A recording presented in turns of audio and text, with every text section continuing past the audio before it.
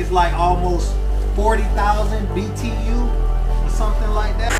You know, it's backlit daytime and nighttime, and it's digital as well, so it's analog. All right, so we got everything made exactly how this diagram is.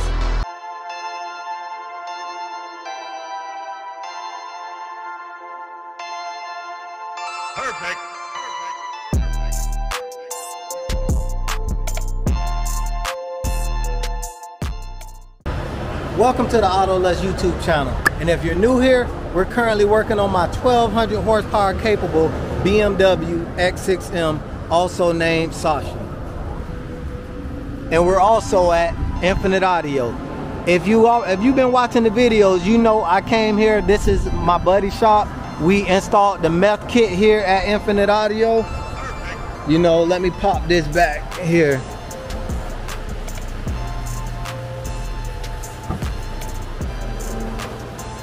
We did the full meth kit and wiring here at Infinite Audio. You know, ran the relays, wiring, everything here. You know, this is a car audio shop, and this how good and good and quality work this guy does. You know, we're doing power power mods at a car audio shop. But today is not about the meth. Today it's about the world's first. I mean, the world's first ever in the world hyper cool transmission setup on a BMW. You know, probably on any European car. So I'm gonna go in the shop and break down all the parts that's gonna make this stage two pure drivetrain transmission cool as it can be when she's handling 1400 horsepower and 1200 foot-pounds of torque for what it's rated at. So we actually got a lot of stuff that we're doing. You know, half of this stuff will be done at boosted beamers like the uh, coolant lines and stuff like that. Well the uh, oil lines and stuff like that but all the wiring and getting everything wired up we're gonna do that here today. And the only thing we have to wire is this fan switch which tells the fans when to turn on at the correct time and also the uh, the wiring for this uh, MaxTow double vision trans temp gauge and here it's analog and digital.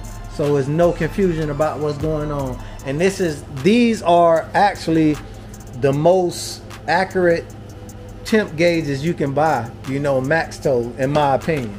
So let's get this unboxed. All right so first and foremost we're gonna get to the beams which is the Derale Hypercool and for this thing to be so small, if you read any reviews on this thing, I'm gonna have, well, first I'm gonna have the part numbers and links for where everybody can buy any of this stuff. So if you want to do this same kit on my type of car or any other type of car, you can do this same kit. You might need different fittings and stuff like that, but most of this is uni this is a universal kit because I'm the first one to do this on a BMW. So, you know, it should be able to fit on any car like I said, so any car with the ZF transmission. So first is the cooler itself. I'm gonna unbox that and show you this. This thing is tiny, but mighty. I think it's like almost 40,000 BTU or something like that, so that's crazy.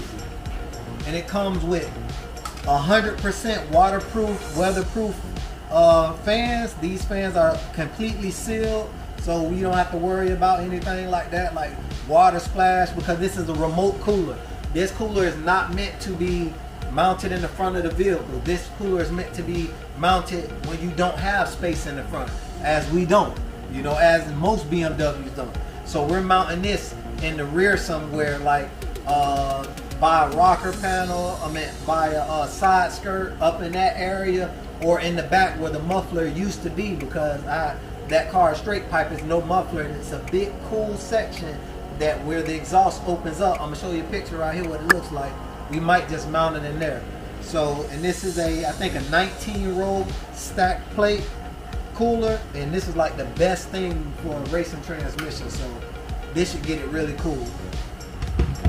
Next, we got from Improved Racing I think I told you guys about this on a different video, but if this your first time uh, being on the channel, then you never seen this. And this is a inline thermostat. And it's a 100, 165 degree thermostat. At 165 degrees, the, the internal thermostat starts to open. And at, uh, I think 170, 175 or something like that, it's fully open to the cooler. And it has the ins and out, and it comes with either uh, where it has the end to the cooler and out from the cooler. Uh, indentations on there. Well, it's written in. I think it's like kind of, yeah, they kind of got it, uh, you know, inscribed in there. It's like milled into the uh, aluminum. But yeah, it comes with either AN fitting, fittings or your choice of barb fittings. We went with barb because that's the way the uh, stock system is set up with quick connects or barb. So that's the way we're gonna run this for ease of use. You know, so and that'll stop me from having to use the factory system for uh, for the thermostat. Jojo, somebody popping up. Next is this is one of the most important parts of the system itself here. And as you can see, let me give you a good look at that. This is from HPR. And what this does is since we're eliminating the entire factory system for the uh, transmission cooler, the factory system for the transmission cooler, we're deleting the lines as well. And the in and out plug into the side of the ZF transmission. This takes that place, as you can see. And they come with different uh, different size uh, little spacers with O-rings on them, depending on what car you got. Uh, the Jag, Range Rover, BMW, any car with the ZF transmission, they make these brackets so they can fit. You know, and uh, these uh, ports here are actually 360 degree movable. So we're mounting it in the back. So it usually mounts on the transmission like this with the factory lines and go directly to the front. But with our system, we're gonna be having it all the way back, going towards the back of the car. So these are gonna be all the way back, mounted towards the back of the car. Because as you can see, they turn 360 degrees. And that'll be that'll let us be able to mount this remote cooler all the way in the back.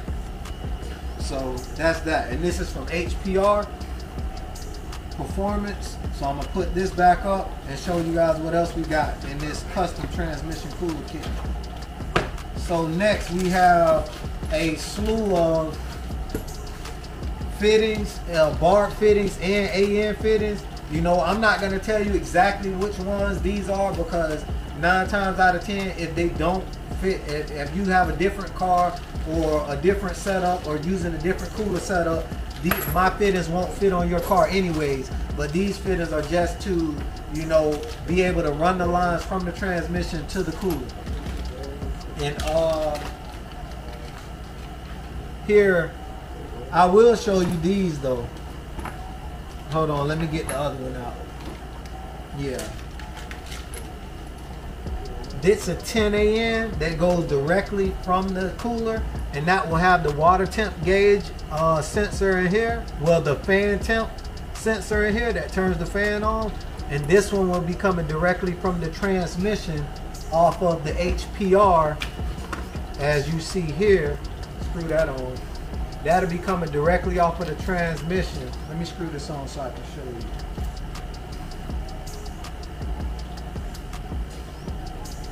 There we go. That'll be coming directly off of the transmission and that'll have the transmission temp gauge for the uh, MaxTow temperature gauge, that temp sensor. So we can keep an eye on the temperature of the transmission fluid to make sure that all this stuff is doing the job. But I will have a link for where you can buy these, you know, because these are definitely like mandatory to if you're using inline sensors. A few moments later. All right, so we got everything made exactly how this diagram is. I already had a relay back here already for the meth kit in the stage three fuel, uh, low pressure fuel pump. So all we did is we added another relay because I have three things running to that other relay already. So we added one more relay, fused it, fused it at the battery here, and then ran this fuse wire here. This wire will go down through this grommet here, leads to the outside. And that this will go down and connect to the switch power on this switch here. Well, this fan turn on switch since it's already switch power on that fuse right there. So that's good. But for the temp gauge, transmission temperature gauge, what I'm gonna do is modify this cubby hole here for that to sit in it. Like most of the guys do their meth gauges, but my meth gauge is up here. So it's gonna when I open that up, it's gonna be sitting right in there like that. You know, so we finna go ahead and modify that and hook this wiring up. All right, so we almost done and we got all the wires ran. This here, like I told you before, is for the fan turn on switch. Is all oxygen free copper to go since it's gonna be ran outside through that grommet. And this here is for the the temp sending unit for the gauge up front. It still has to be spliced in because we had to uh, extend the wires from the front to the rear. And we had to extend the gauge pod wires from the front to the rear. Because as you know in the BMW there's only two fuse boxes in it and it's hard to find constant power up front unless you want to go back through the firewall grommet and use the jumpers up front and I didn't want to do that. So we just ran every we extended the entire all four of the gauge pod wires all the way to the back loomed them up and then we're just going to use the fuse box in the back with the new uh, relay we just installed. The relay for the meth kit, the third fuel pump, and the inner chiller is here. And this this uh, relay here adjusts before those temp senders in the gauge. I'm gonna show you what we did for the gauge and it's gorgeous the way he got it set up. So see, he actually put it in that like cubby hole. So when I'm sitting down, you know I can have it right. Well on camera it doesn't look like it's visible but because the angle I gotta hold it but it, it, it's super visible.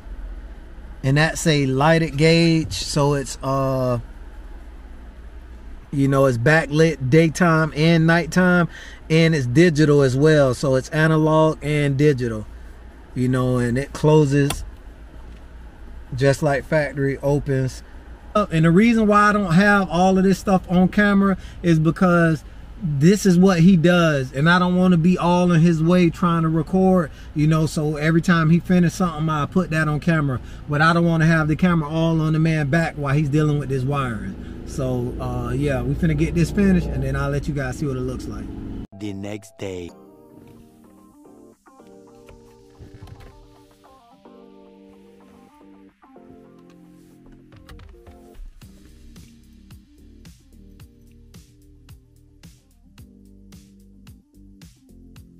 That looks real nice. So it's actually the next day because once we got all the wiring figured out and the wiring done and the gauge pod put in and all of that stuff, it started to rain horribly. And if you're from Florida, you ever been to Florida, you know how unpredictable the rain is, especially during summertime. Yeah, the gauge turned out gorgeous. You know, it's in the spot where I wanted it. You know, it, it's like a little stealth thing. You know, like if I don't always want to see it, I don't have to see it. Let me uh, hold on, adjust this camera. Okay, if I don't want to see it, I don't have to see it because it's in a cubby hole. I can just keep the cubby hole closed and boom, you know, I, I won't have to worry about it. So, uh, yeah. So as of now, you know, we the only thing we have left to do is install the actual where is it? Oh, it's back here in the back. Install the actual transmission cooler itself and run the lines and fittings. And I'm gonna do a separate video on that so you guys can see exactly how you use that uh, ultimate TCA adapter. I think that is for what it's what it's called from HPR. So you can see exactly how you use that and where we're gonna, you know, try to run this this uh actual cooler at you know because it's a remote cooler so but up under bmw there's only so many places you can put something like that. So i'm thinking right where the muffler used to be because the exhaust is out around the side so it's just a big space right in the middle. You know we're gonna put like probably an inch or half inch uh, standoffs on it so it could drop it a little bit. You know from the factory it has its own like little i think about a quarter inch or something like that but i want more fresh airflow to be able to come through. So we're gonna do something like that but yeah. And and i mean we're almost there you know and then we can go ahead and get it tuned. But i still have to like if you didn't see the last video like i told you i had an injector problem and i swapped that problem injector out. But if you know bmw injector problems that one injector isn't gonna do it you know. So I need to switch all of the injectors out, get all brand new injectors so I don't, you know, because when one's going bad, they're going to keep going bad. It's like a cancerous tree. You know, one branch dies, eh, the next branch is going to die, and the next branch is going to die. So I'm going to swap them all out. And I don't think I need plugs and coils already, but I'm just going to do those anyways, you know, just so it's no problem with my fueling and ignition for when we get on the dyno. So on the next video, we're gonna be installing this transmission cooler setup.